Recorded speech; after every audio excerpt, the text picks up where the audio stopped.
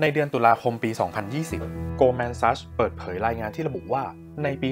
2021 ตลาดสินค้าโภคภัณฑ์จะได้รับความนิยม ด้าน JP Morgan มองว่ามีแนวโน้มที่ดี ที่สินค้าโภคภัณฑ์จะเข้าสู่ Super Cycle ซึ่งจะคงอยู่ไปอีกหลายปี ธนาคารอเมริกา Merrill Lynch และ Citigroup เป็นอีกกลุ่มที่มีมุมมองแบบเดียวกัน แล้วสินค้าโภคภัณฑ์อะไรที่ธนาคารมองว่ามีแนวโน้มเป็นขาขึ้น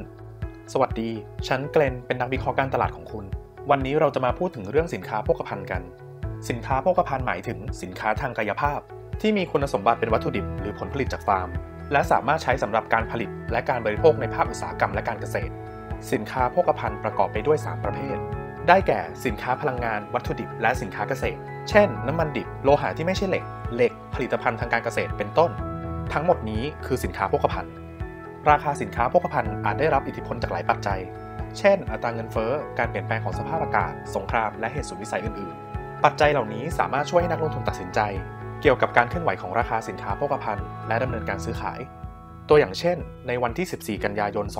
2019ซาอุดิอารามโกบริษัทน้ำมันที่ใหญ่ที่สุดในโลก ได้รับการโจมตีจากโดรนของศัตรูที่โรงงานผลิตน้ำมันในบูเคกและฮูไรส์ในซาอุดิอาระเบีย การโจมตีดังกล่าวทำให้การผลิตน้ำมันของซาอุดิอาระเบียลดลง 5.7 ล้านบาร์เรลต่อวัน หรือ 5%ของการผลิตทั่วโลก ทำให้ราคาน้ำมันดิบทั่วโลกพุ่งสูงขึ้นเป็นประวัติการนับตั้งแต่เกิดเหตุการณ์โจมตี ในทางกลับกัน สภาพอากาศที่รุนแรงอาจทำให้เกิดการเปลี่ยนแปลงอย่างมากในการจัดหาสินค้า ตัวอย่างเช่นในปี 2011 ปรากฏการณ์ลานิญาในออสเตรเลีย ส่งผลให้มีฝนตกในประเทศติดต่อกัน 2 ปี ซึ่งกระทบต่อการเก็บเกี่ยวข้าวสาลีจำนวน 25 ล้านตัน ซึ่งส่งผลให้ราคาผันผวนอย่างรุนแรงในที่สุด